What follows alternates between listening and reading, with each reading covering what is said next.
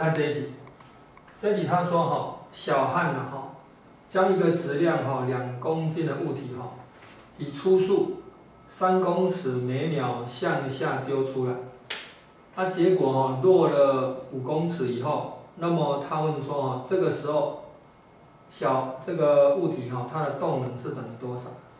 啊这怎么做？我们就用力学能手呢，我可以这里哈当那个零位面。哦，这里呢，重力位能等于零。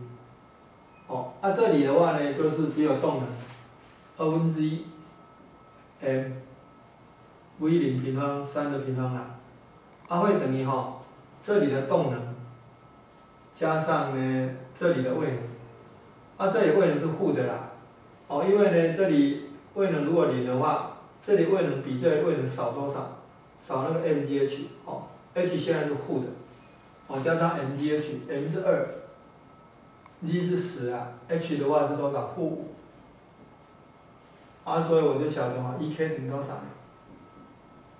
这个是九啊，啊这一百，移过去的话是一百加九，一百零九。所以答案是一百零九焦耳，所以这一题答案应该要选 D。